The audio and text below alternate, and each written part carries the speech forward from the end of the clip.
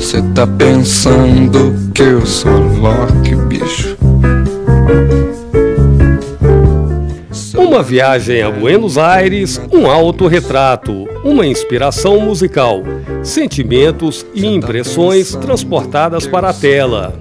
A mostra, intitulada Empoderamando, reúne vários acrílicos produzidos por pacientes e profissionais do Centro de Atenção Psicossocial CAPES Mestre Álvaro, do município de Serra.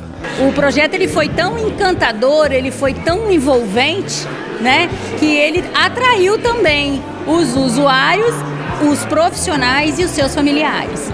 Porque o que, que nós vimos lá na, na execução do projeto?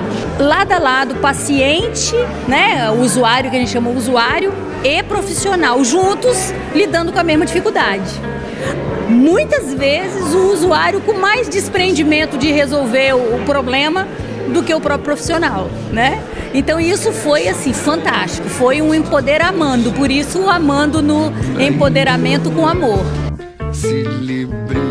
Silvandira já recebeu alta do CAPS. Agora é voluntária na instituição e participa de várias atividades. Ela é autora de um dos quadros.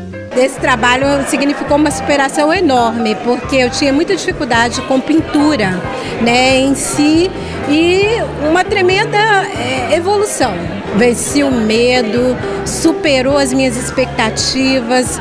A arte é uma terapia, ajuda muitíssimo. A arte, ela liberta a nossa alma. O público aprovou as pinturas. Essa professora de terapia ocupacional da UFES participou do evento.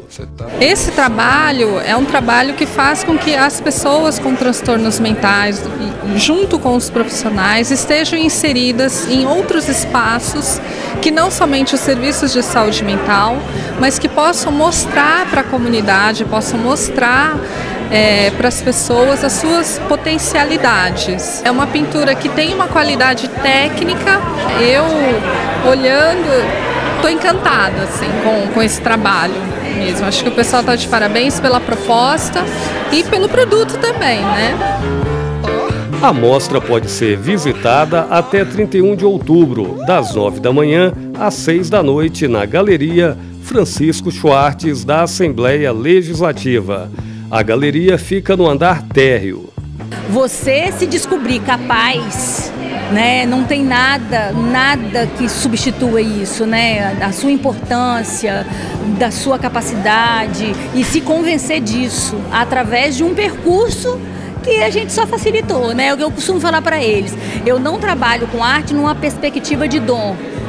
Eu trabalho com arte numa perspectiva de dão se dão oportunidade, você desenvolve a arte.